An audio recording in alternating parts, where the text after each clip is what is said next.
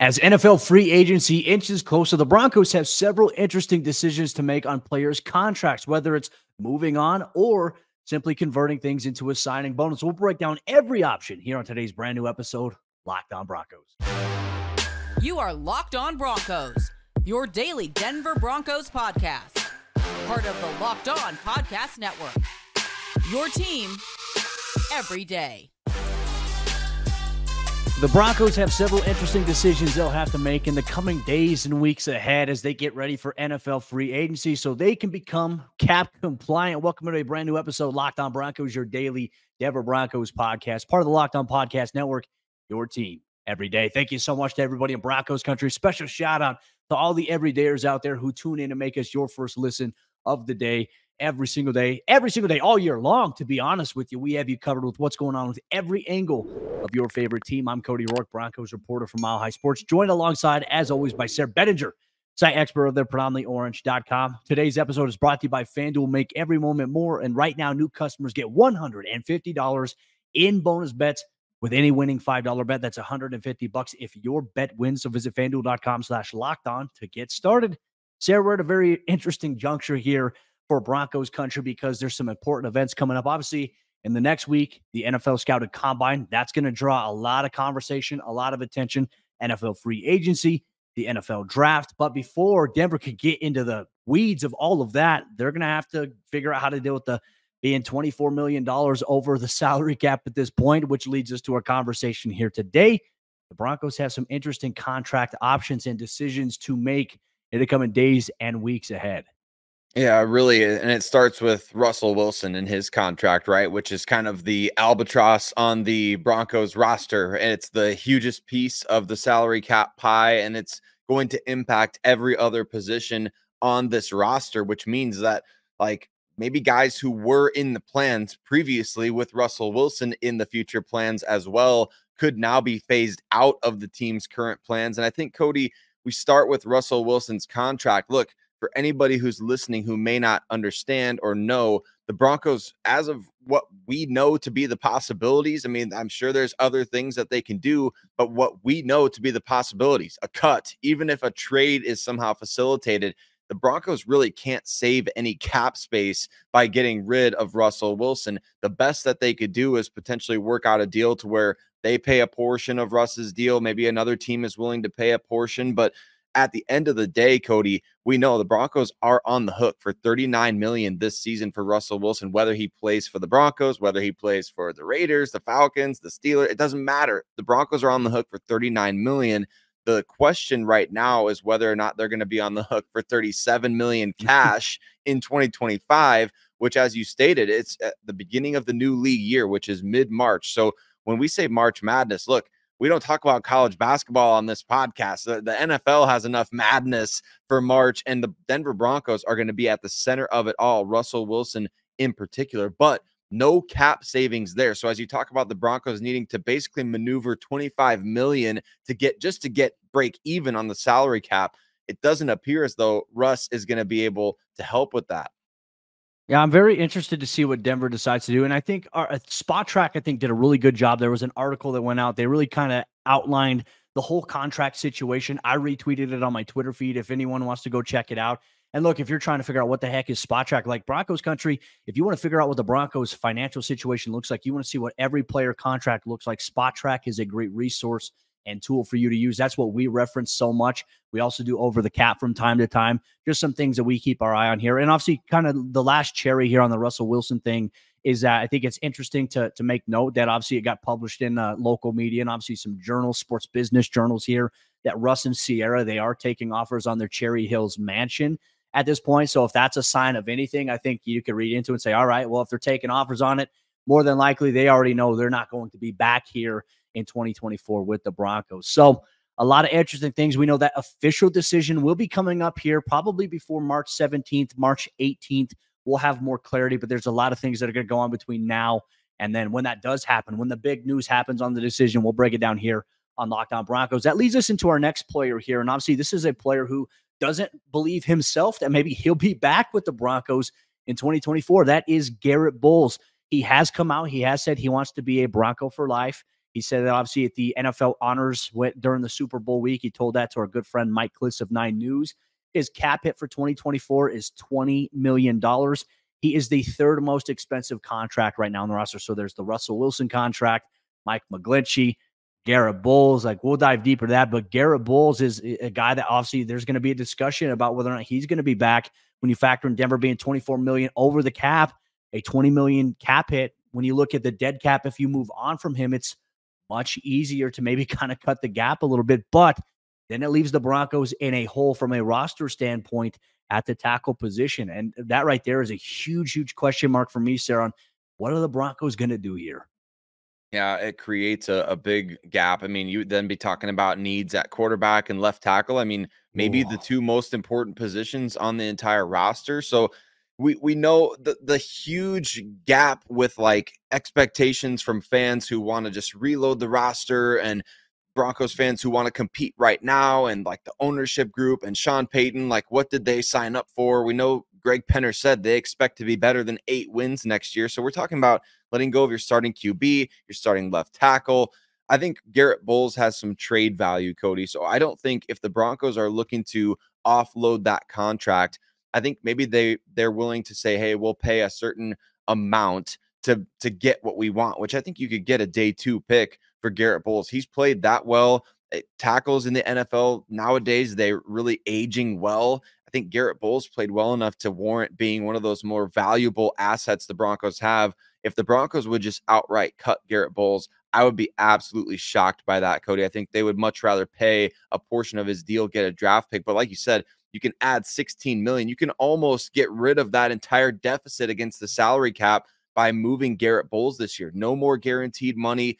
We've talked about in the past that like Garett, he's he's declined opportunities to restructure his deal in the past. So it doesn't feel like he's really on board with the idea of taking the proverbial haircut to stay in Denver as much as he would like to stay there. I think he deserves to be paid appropriately. And and that's going to lead to 2025 free agency for him. Maybe if he does get traded, an extension from that team. So I think a trade is most likely with Garett Bolles, Cody. And I don't, as of right now, of course, right now is kind of the doom and gloom. The Chiefs just won the Super Bowl. The Broncos, you know, they're resetting, like, let's just blow this whole thing up. I think Garett Bolles is a likely trade candidate based on the Broncos' lack of draft capital and the possibility that you could get a potential day two pick out of some team. Yeah, and, and, I think you make a great point because I think the main concern people would have is like which team would want to trade for a guy that they don't have a guarantee of maybe even ha- bring it back the next year. You mentioned, I think the the price point of okay, well, if Denver agrees to pay a certain amount, that team will be there. But maybe it's the same exact kind of contract discussion that you know those two teams have, like in a trade. Like Garett's like, I will only be traded to this team if, in fact, there was an extension on the table with it, similar to what happened with Bradley Chubb and the Miami Dolphins. That's what let that trade go through here for both sides between Denver and Miami just a couple years ago. So, very interesting point to be made there. Look, we talked about Garett Bolles. It's obviously one tackle option here, uh, but there's also a Broncos wide receiver who's set to make quite a bit of money here in 2024. Could an extension or a restructure potentially be heading towards one of the Broncos' top offensive playmakers. We'll dive deeper that here on today's episode, Locked On Broncos. Today's Locked On Broncos is brought to you by our friends over there at FanDuel Sportsbook. Get buckets with your first bet on FanDuel, America's number one sportsbook, because right now, new customers get $150 in bonus bets with any winning $5 bet. Once again, if you sign up as a brand new customer over there at FanDuel Sportsbook, you can get $150 in bonus bets if you place a $5 bet and it wins. You can bet all on uh, all your favorite NBA players and teams with quick bets, live same game parlays, exclusive props, and more. If you somehow bet on the All Star game from this past weekend, if you didn't take the over, I don't know what you were thinking. Obviously, the highest scoring game in NBA All Star history. Always hard to kind of get in on that action, though, when you don't know if guys are going to miss. Guys are shooting from half court, nailing three after three after three. But now the second half of the NBA season is here where everybody's making a push in the playoffs. We all know the Western Conference is the strongest conference in the NBA. There's going to be a big time race for seeds one through eight here in the second half stretch, and FanDuel is the perfect place to get in on the action. Just visit fanduel.com slash locked on and shoot your shot. Once again, visit fanduel.com slash locked on. FanDuel, the official sportsbook partner of the NBA. offensively for the Denver Broncos, there's some major contract situations coming up here as we approach just under a month to NFL free agency. Could we see Courtland Sutton, Mike McGlinchey, other big name players counting a huge portion against this year's salary cap? Could we see them maybe redo their deals? Cody and I are going to talk about that on today's episode, Locked On Broncos. But want to say thank you and give a shout out to every single one of you everyday listeners out there that make us part of your day however you choose to do so. Free and available everywhere that you listen to podcasts, as well as you can watch the show on YouTube. And we appreciate you for making us part of your day, whether it's on your commute, whether you're at the grocery store, on the treadmill, whatever you're doing, however you're listening. And we appreciate you for rocking with us right here on the Locked On Podcast Network, your team every day. Let's talk about Mike McGlinchey, Cody, because we talked about Garett Bolles. Obviously, McGlinchey got the big five year deal last year in free agency. And you, you had to think the Broncos knew when they were entering into that first wave of 2023 free agency that they structured deals in order to be able to give themselves some salary cap flexibility the next two off seasons. So, meaning 2024, 2025. And Mike McGlinchey getting the only five year deal in free agency last year, I think is significant in that particular regard. So, we, we've seen reports, rumors that McGlinchey could potentially do a little restructure of his contract or convert some money to a bonus. I think that's a really easy way for the Broncos to free up some cap space. Well, and on top of that as well, look, you mentioned the the big time contract. When you look at where Denver's at, we talked about Russell Wilson. The first segment obviously has the most expensive contract on the Broncos. Number two, it's Mike McGlinchey, right? And so when you look at that, I think there's some frustration in the eyes of Broncos country because yes, you pay him a lot of money. Did he perform up to that contract last year? I'd say no, he didn't, right? But I think that there's room to grow, right? First year in a brand new offensive scheme. Look, he was in Kyle Shanahan's offense for a long, long time. Denver's offense was not like that. There were areas where I felt like McGlinchey was good. I felt like in run blocking, McGlinchey was great. He needs to be better in pass protection. I think we can all acknowledge that. But I think that there is some leverage here by the Broncos. And as you mentioned, like Rich Hurtado, George Paton, the way that when they negotiated these deals, it gives them options. And look, even I think what is after not this upcoming season, but after next season, this not this not 2024, but after 2025, if it's not working out, Denver can cut, I think, the cord at a relatively easy cost where it's not going to be a detriment to them. There is that. And I think that's how you're going to see a lot of these deals negotiated going forward by many NFL teams. Okay, hey, we're going to have a two to three year window and it's going to be expensive, but if it doesn't work out, we're not going to be on the hook for it after year three of this deal. So there is that. Um, I believe it's $17.5 million will be guaranteed on March 18th. As Mike Klis reported, he is one of those guys that will likely be a, a candidate to have a converted, uh, you know, a salary converted into a signing bonus, which does free up cap space. We've seen Denver do that the last couple years. They did it, if I'm not mistaken, with Courtland Sutton. They did it with Tim Patrick a little bit the last couple of seasons, just to be able to free up some space there. It's little bits of maneuverability that give them flexibility to make other decisions but it is hard when you are over the cap, right? You want to have flexibility. And I, I, can't remember, Sayre, the last time the Broncos have been in a position where they've been over the cap. They've usually have always had cap space. They've had the rollover. They've usually entered free agency with 36, 37 million dollars to work with. This is going to be a different, I think, experience for us covering this team in terms of seeing how they maneuver it. This does feel very much like the New Orleans Saints with Sean Payton. Every year they're over the cap and then they somehow find a way to create space. Like they've been really good at being able to do that. How will the Broncos do that? To me, that's a great question here. $18.5 million cap hit for McGlinchey here in 2024, obviously maneuvering in there. But then that leads us to a conversation here about one of Denver's top playmakers on the offensive side of the ball, Courtland Sutton, obviously a name for him, 10 touchdowns this past season a lot of the conversation is okay, well, hey, his trade value is the highest it'll probably ever be coming off of a 10 touchdown year. We've talked about, hey, like there is a strong possibility that there between Jerry Jeudy, Courtland Sutton, one of these two guys, somebody is not going to be back. And I feel like if the Broncos maneuver Courtland's contract a little bit, there is a chance that he'll be back. As it says, $2 million of his $13 million salary for 2024 becomes guaranteed on March 18th. That doesn't seem pretty bad, like 2 million of that. But Mike Klis also reported that $13 million salary can be converted into a signing bonus for cap space, which obviously makes things a little bit more flexible for Denver. Courtland has the fifth most expensive contract right now on the Broncos roster. We also talk about Tim Patrick, also another restructure candidate, potential extension candidate as well. Same thing is on the table here for Court. Yeah, Courtland Sutton is one of those guys that we talked about maybe his trade value being at its highest right now, and, and, he has two years left on that deal, which does give you the flexibility to be able to restructure. And for those that are wondering, like, well, how much cap space would that really save the Denver Broncos? I mean, it would really it would depend on how they structure the bonus, right? So mm-hmm. we can't sit here and say, well, it would save the Broncos 13 million because they're paying them 13 million in a signing bonus. It would really it would really depend on how they split that up, how they spread it out and and yeah. look, that's above Cody and I's pay grade. We're not Rich Hurtado. So if the Broncos no. want to hire us to be, we'll do the research.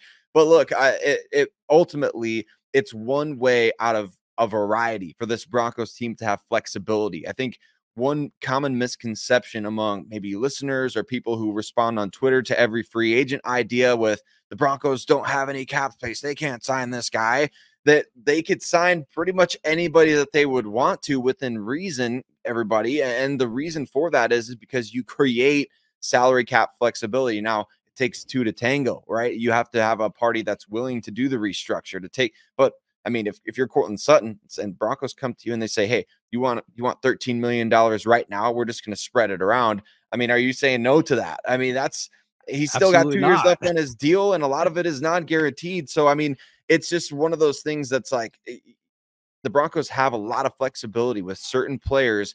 Courtland Sutton is one of them. The interesting thing is, is that the, the Mike Klis report came out about maybe the Broncos trying to convert some salary into a bonus. And we're like, wait a second, I thought Courtland was potentially the bigger trade candidate out of both he and Jerry Jeudy. So man, just buckle in for this offseason Broncos country. We have no idea what's going to happen next, but hopefully we do start getting some answers soon. Like you said, the scouting combine coming up, you're going to want to be able to already be making plans for free agency with agents at the scouting combine. So don't mm-hmm. be surprised if the Broncos have a lot of these things kind of already done or in the works or like verbally agreed to, and we start hearing about them in the near future.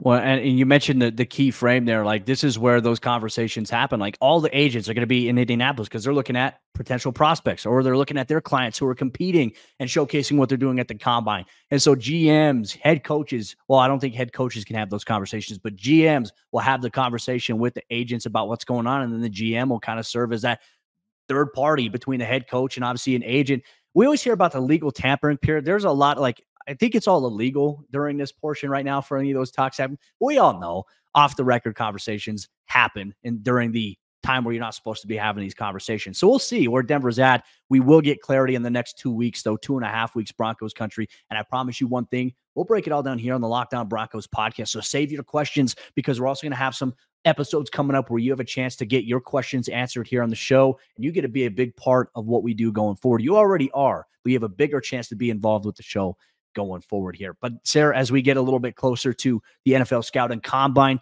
there's the initial preliminary projections, draft boards that have rankings of where players are listed at. A lot of big names. Dane Brugler, one of the most reliable guys, obviously will fill out their draft boards. But the combine and performances will make that list change a little bit in the next couple of weeks here.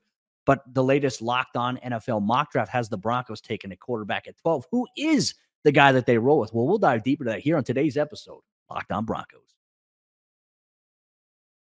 Today's Locked On Broncos is brought to you by our friends over there at the Game Time app, and you shouldn't have to worry when you buy tickets to your next big event. Game Time is the fast and the easy way to buy tickets for all the sports, the music, comedy, and theater events near you. With killer last minute deals, all in prices, views from your seat, and their best price guarantee, Game Time takes the guesswork out of buying tickets.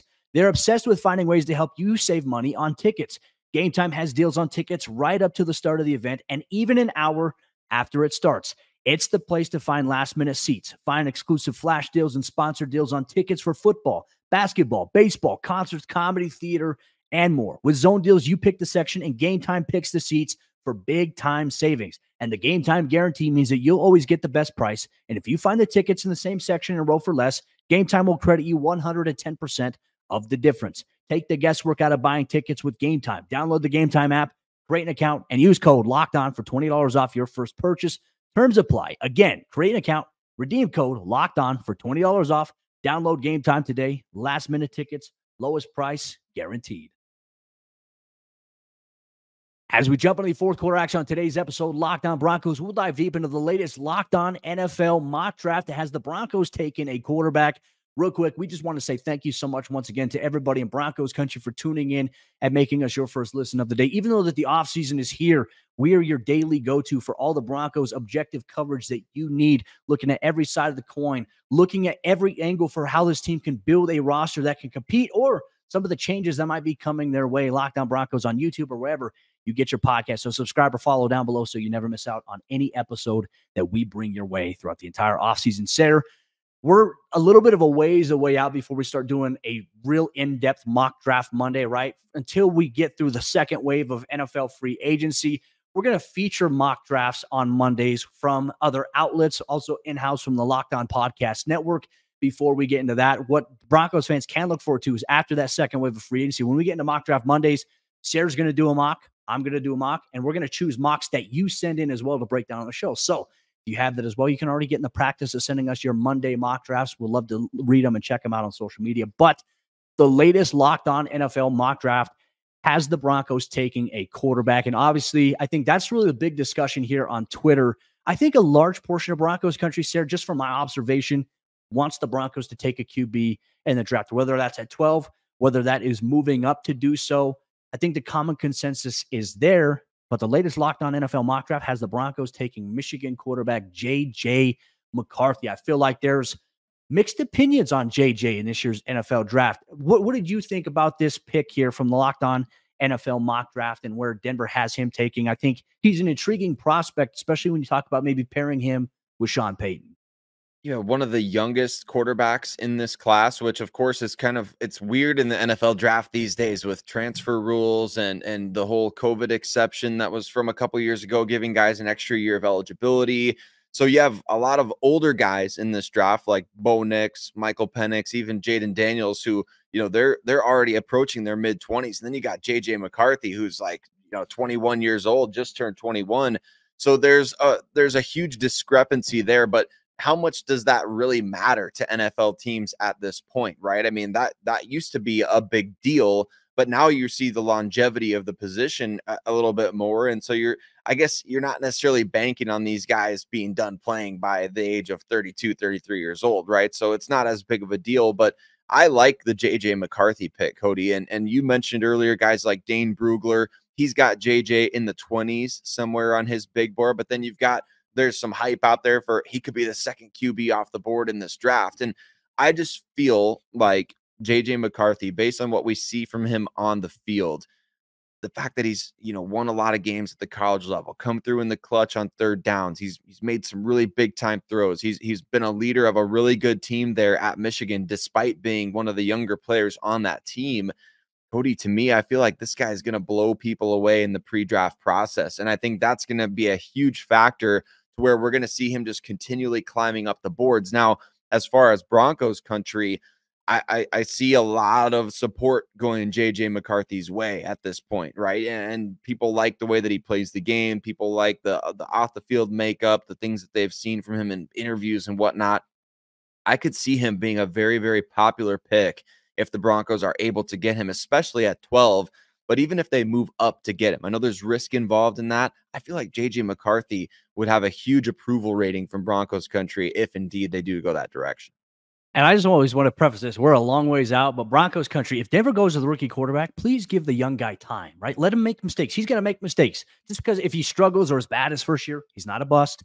Let there be a developmental process that plays out. I feel like we have to put that early disclaimer on this because I understand how the expectations are. And sometimes I feel like for young guys, they're very unfair. Like you're not going to run into the CJ Strouds of the world very often. And to expect that from a guy, it's it's hard. It's very, very hard. So I want to preface by saying that some other quarterbacks that were available in this mock draft, uh, you know, at the time that you know when Denver was on the clock at 12, Bo Nix, Michael Penix Jr., uh, Jayden Daniels had went eighth overall to the Atlanta Falcons, so he wasn't an option on the table here. I'm very curious though. Like I, I'm not opposed to the JJ McCarthy pick here. I've been going through and been watching some film breakdowns that people have put together there. But I think the the concern, like there's different analysis based thoughts out there about a player like JJ McCarthy, right? You've seen some guys say, "Oh, I feel like he he should have went back to Michigan for another year, one more year of of playing would have done really well for him." Maybe if Harbaugh didn't take the job in LA, maybe he would have stayed another year. Possibly, I'm not sure. Um, but then also at the same time, you see criticisms about, okay, well, hey, He's a guy that doesn't have a very good, consistent deep ball placement here. Dude, does Denver need that though? Like uh, Denver's going to have to take some shots downfield, but does Denver need to be able to attack the intermediate to the short stuff a little bit more effectively than they have been the last couple of years? I'm very interested to see where the payoff and where kind of the difference is there. So, but J, but that doesn't mean that JJ can't work on these things. Though, if Denver takes him, there's plenty of time for him to get into a system and to work on these areas. You build an offensive structure on what he's good at, and then you work on the things, and you have you surround him with playmakers. Look, Marvin Mims is a great guy to have, in my opinion. If you want to try to help him get better on his deep ball, throw it to Marvin Mims downfield. I think JJ will do that. So. I like the pick here. And obviously, there's going to be a lot of different quarterbacks that probably get picked by all these mock drafts in the coming days and weeks here on the Locked On Podcast Network. We'll obviously look at some of the NFLs. We'll look at Daniel Jeremiah's. We'll look at Dane Brugler's latest mock drafts. We'll get into all that and we'll also do our own mock drafts here going forward. But JJ is an interesting pick here. And it would be interesting, right? Okay, let's say Denver does take him. Well, now you have Harbaugh in the division who knows everything about him. Is that something that would be a little bit of a concern for you, Sayre, just from a standpoint like, okay, hey, Harbaugh recruited this guy. He knows what he's good at. He knows what he's not good at. How would that impact maybe a game plan overall here for Sean Payton and also for Harbaugh on the other side of it?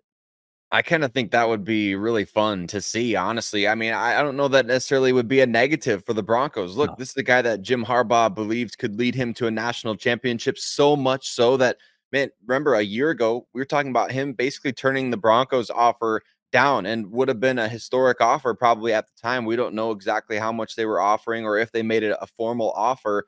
But hey, he went back to Michigan believing that this guy could help his team win a national championship. And so you have to think, and I know Harbaugh has said this, but it's his guy. He said he's the best QB in this draft. And and so I think that, you know, he loves the guy. I think you buy somebody's potential like that. Harbaugh hasn't had a ton of guys translate to the NFL, which to me is very, very weird, Cody. I mean, we have we talk a lot about Andrew Luck back in the day. That was the prized possession, you know, from from Stanford and Jim Harbaugh developing him. But in between that, in the time at Michigan, like how many quarterbacks from Michigan made it in the NFL under Jim Harbaugh? So kind of an interesting thing there. So I feel like JJ going to the Broncos would be so much fun. They stick it to Jim Harbaugh a little bit, show him how you could develop his guy at the NFL level and beat him twice a year with the guy that he recruited. That would be a great storyline. And I would love to see that. I think Jim Harbaugh would be rooting for the guy. And of course, you would think, well, yeah, maybe he could exploit some of his weaknesses here and there a little bit, but maybe like you said, JJ could get better at some things and he could maybe start to exploit Jim Harbaugh. He's like, I know how Jim runs a team on the other side, yeah. you know? So you never know how it could be advantageous for you going the other way. Well, you know, the future is now, old man. That's what I hope to see. Like if JJ was the quarterback, I expect that to be made into a meme. If the Broncos beat the Chargers with JJ, we need to have somebody put that in some, in their memory bank somewhere here. But Broncos country, let us know what you thought about the latest Locked On NFL mock draft. Do you agree with their decision to have the Broncos take JJ McCarthy at 12th overall. Let us know in the YouTube comments down below. If you're on social media, if you're listening wherever you get your podcast, let us know at Cody Roark NFL, at Sayre Bedinger, at Locked On Broncos. But for all you everyday listeners out there, here's what we can expect to dive deep in, into on tomorrow's episode. Locked on Broncos. There was a poll run by NFL.com, and they had the Broncos 2023 rookie draft class ranked dead last. We'll talk about whether or not there's something we should invest in that analysis or even that ranking there and how Denver can take steps forward with the rookie class or the second year guys going forward here. You're going to break all that down on tomorrow's brand new episode, Locked On Broncos.